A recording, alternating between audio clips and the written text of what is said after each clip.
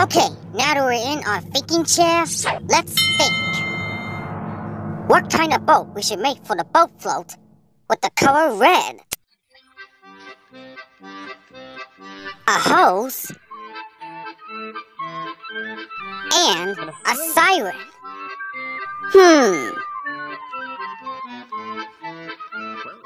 Well, maybe it's a boat that's red.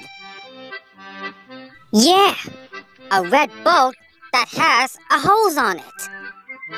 And maybe this boat has a siren that makes those loud siren noises. But what kind of boat is red, has a hose, and a siren?